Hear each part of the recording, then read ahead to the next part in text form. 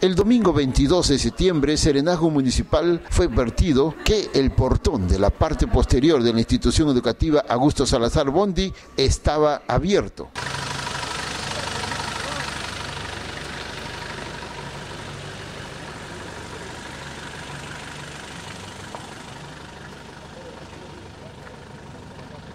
Señor Polo, a esta hora de la noche Serenazgo patrullando, se ha encontrado la puerta del Augusto Salazar Bondi abierta. ¿Alguna explicación sobre ese caso? Sí, desconocemos, desconocemos el motivo por el cual está abierto.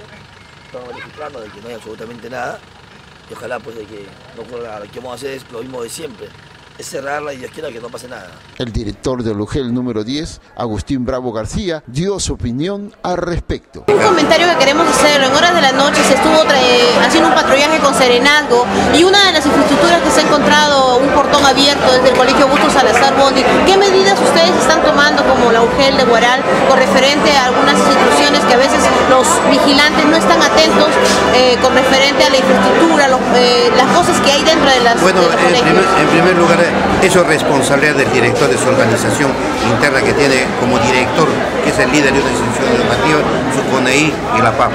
Y si se viene incumpliendo eso, tomaremos las acciones administrativas correspondientes del caso. Al enterarse de este caso, el director de la institución educativa, Walter Custodio Salazar, señaló que no se le ha informado al respecto. De mi preocupación porque la primera noticia las estoy recibiendo de que se encontraba el portón abierto de sábado para domingo.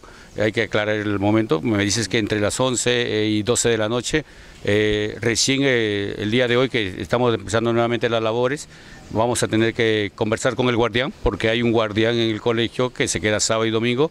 Vamos a tener que conversar con él para ver qué es lo que ha pasado. ¿Esta puerta está insegura?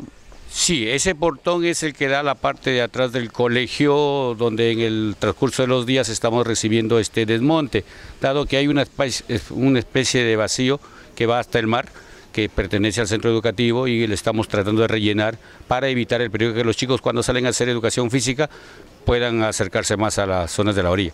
Entonces estamos invitando a las personas, ya algunas personas que conocemos están trayendo su desmonte y por eso es la razón de que ese portón está siendo utilizado. De lo contrario siempre para fijo cerrado.